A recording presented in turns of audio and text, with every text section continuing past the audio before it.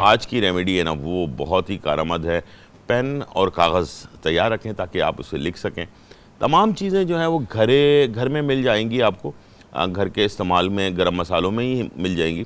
एक चीज़ जो है, उसको आपने लेने के लिए थोड़ा सा पंसारी की दुकान तक जाना पड़ेगा, ठीक है तो चलते हैं स्टार्ट करते हैं। सारी चीज़ें आपने 10-10 ग्राम लेनी है। सिंपल सी चीज़ ये बता दूँ कि 10-10 ग्राम आपने तमाम चीज़ें लेनी है।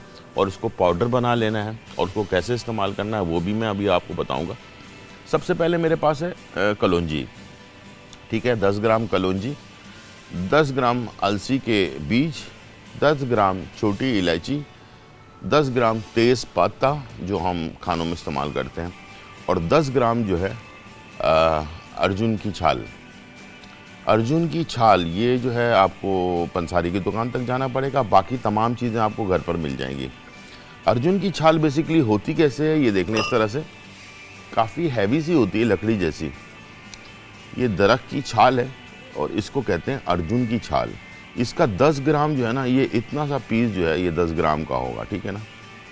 ये इतना सा पीस 10 ग्राम का होगा, इसे हमने यहाँ से काट लेना है और इसे जो है पंसारी की दुकान से ही इसका पाउडर बनवा लेना है। ये सारी चीज़ें आप साथ ले जाएँ उसको कहें कि भाई ये प्रॉप पाउडर बना कर दे दें, ठीक है जी? 10 ग्राम अर्जुन की छाल 10 ग्राम तेज़पात पत्ते तेज़ पत्ता जो होता है, जो हम खानों में इस्तेमाल करते हैं, बिरयानी वगैरह के अंदर। छोटी इलायची 10 ग्राम, अलसी के बीज 10 ग्राम और कलौजी 10 ग्राम। इन तमाम चीज़ों को 10-10 ग्राम लेकर इसे आपने पाउडर बना लेना है और इसके बाद इसके 10 हिस्से कर लेने हैं। 10 पुड़ियाँ बना लेनी है आपने। इन तमाम चीज़ों को पाउडर बनाया दस दस ग्राम लेकर, और इसके दस, यानी कि खुराक आपने बना लेनी है। हर खुराक सुबह नहार मुँह, दो गिलास पानी के साथ या एक गिलास पानी के साथ आपने इसे लेना है। कोई दूध वगैरह इस्तेमाल करने की ज़रूरत नहीं, सिंपल पानी के साथ नहार मुँह लेना है। आधे घंटे के बाद आप खाना वगैरह खा सकते हैं, नॉर्मली कोई मसला नहीं है। इन इस दस खुराक के अंदर ही आपके जिसम में जितनी भी वेंस है ना, जो भी ब्लॉकेज है इन वो खुल जाएगा। ठीक है? ये गारंटेड है और फिर से बता दूँ, मैं इसलिए कि बार बार रिपीट कर रहा हूँ कि आपसे कोई चीज़ मिस ना हो जाए, ठीक है? पेन और कागज़ तैयार रखिएगा, लिख लीजिएगा, ये रिकॉर्ड कर लें, ठीक है?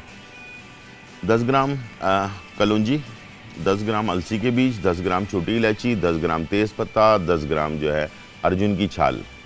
अर्जुन की छाल दस ग्राम, तेज़ पत्ता दस ग्राम, छोटी इलायची दस ग्राम, अलसी के बीज दस ग्राम और कलौजी दस ग्राम। इन तमाम चीज़ों को लेकर इसका पाउडर बना लिया आपने और इसके बाद इसे पाउडर बनने के बाद उसको दस हिस्सों में तकसीम कर लें। दस खुराक बना लें, ठीक है? दस खुराक बनाकर आपने रोज़ाना, सुबह नहार मुँह गिलास, दो गिलास पानी के साथ इसे पी लेना है और आधे घंटे के बाद अपना जो रेगुलर नाश्ता है वो आप करें। इन आपके जिसम में जितनी भी ब्लॉकेज है, जो भी जिसम में, पैर में दिल में, जो भी ब्लॉकेज रह गई है, ऐसा भी होता है कि ज़रूरी नहीं कि ब्लॉकेज आपको पता चले। बहुत कम उम्र में भी लो, लोगों को ब्लॉकेज हो जाती है जिसकी वजह से हार्ट अटैक भी हो जाता है। कोलेस्ट्रॉल भी बढ़ जाता है। तो ये कोलेस्ट्रॉल को भी कंट्रोल करेगा। ये आपके ब्लॉकेज को भी ख़त्म करेगा। इन आप बेहतरीन लाइफ गुजार पाएँगे इन ये चीज़ें आपने लाजमी रेगुलरली इस्तेमाल करना है। दस दिन तक इस्तेमाल करना है। उसके बाद भले आप इसको ना इस्तेमाल करें कोई मसला नहीं है। लेकिन दस दिन में आपके जिसम के अंदर की जो ब्लॉकेज है वो ख़त्म हो जाएगी क्लियर हो जाएगी। और इसे आप लिख कर रख लें। अपने लिए नहीं तो अपने किसी जानने वालों के लिए। ज़रूरी नहीं है कि आपकी उम्र 25 साल है तो आप इसको इस्तेमाल ना करें। बिल्कुल इस्तेमाल करें। ज़रूरी नहीं है कि ये आप बिल्कुल बुढ़ापे में जाके जब हार्ट अटैक हो जाए, उसके बाद इस्तेमाल करें। या डॉक्टर ने कहा है, ब्लॉकेज हो गई है तो इस्तेमाल करें। इसलिए कि हर उम्र में, यानी कि 20-25 साल की उम्र में भी हल्के हल्के ब्लॉकेज शुरू हो जाती है। इसलिए कि हमारे यहाँ जो हम खाना खा रहे हैं, जो ऑयल इस्तेमाल कर रहे हैं, जो भी बहुत सारी चीज़ें ऐसी हैं, जो नाकस होने की वजह से, मिलावट की मकदार इतनी ज़्यादा होने की वजह से, इतनी ज़्यादा मिलावट है, जिसकी वजह से हमारे जो है ना, जिसम के अंदर सीने का ब्लॉकेज हो जाना कोलेस्ट्रॉल का बढ़ जाना, या और भी बहुत सारी डिज़ीज़ का पैदा हो जाना, कोई बड़ी बात नहीं यानी कि हमें कोई हैरत अंगेज़ बात नहीं होगी कि हमारे यहाँ अगर किसी को जैसे हार्ट अटैक हो जाता है तीस पैंतीस साल की उम्र में तो ये कोई सरप्राइज़ वाली बात नहीं है, क्योंकि ये चीज़ें इसलिए हो रही हैं कि हमारे यहाँ पानी से लेकर हर चीज़ में मिलावट जो है ना, वो बिल्कुल खुलेआम, बग़ैर किसी खौफ, ख़तर के जो है ना, वो किया जा रहा है। जिसमें ख़ास तौर पर जो कुकिंग ऑयल हैं, उसके अंदर ख़ास तौर पर जो है नाकिस ऑयल जो है ना, उसके अंदर इस्तेमाल किया जा रहा है, जो जाकर हमारे जिसम में फ़ैट बनता है और ये जाकर वेंस के अंदर ब्लॉकेज पैदा करता है। इसी तरह से और भी बहुत सारी चीज़ें हैं। जैसे बटर है अच्छा बटर जो है वो आप मार्केट से हम एक ज़माने में नॉर्मल बटर हुआ करता था। अब पता नहीं वो मुख्तलिफ़ किस्म के उसमें चीज़ें मिलाकर उन्होंने जो है बटर को बेसिकली वो बटर नहीं रहा, बल्कि कुछ और ही बन गया है, जिसके अंदर फ़ैट का इस्तेमाल भी हो रहा है। बहुत सारी चीज़ें ऐसी इस्तेमाल हो रही हैं।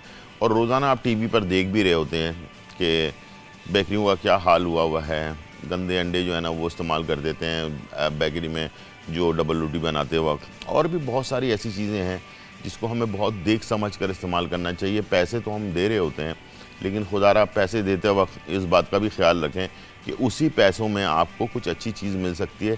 लेकिन अगर थोड़ी सी तहकीकात कर लें, अपने लिए नहीं तो आने वाले मुस्तबिल में हमारा जो, हमारा मुस्तबिल है, जिसको एक बहुत ही चाको चौबंद होना चाहिए। पाकिस्तान के हर बच्चे बच्चे को एक मज़बूत होना चाहिए इसलिए कि इन्होंने ही संभालना है आगे हमारे पाकिस्तान को। तो उनके लिए उनके खातिर जो है ना ये थोड़ी सी आप सर, सर्च करके सस्ते या महँगे की तरफ़ ना जाएँ बल्कि थोड़ा सा उसको तहकीकात ज़रूर करें। इसलिए कि सस्ते दामों भी बहुत सारे ईमानदार लोग अभी भी ज़िंदा हैं जिसकी वजह से सारा सिस्टम चल रहा है। वरना तो फिर सिस्टम ही बैठ जाए ठीक है ना? तो ये चीज़ें हैं। इन इसको आप लिख लें अपने पास रखें। अपने लिए भी, अपने देखने वाले, अपने दोस्तों के लिए, अपने तमाम रिश्तेदारों के लिए भी ये कारामद आपके साबित होगा।